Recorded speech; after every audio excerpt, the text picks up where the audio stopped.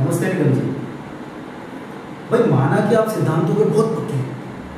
मगर ये भी तो सोचिए कि अगर उस समय पर अस्पताल बन गया तो कितने सारे लोगों का भला होगा?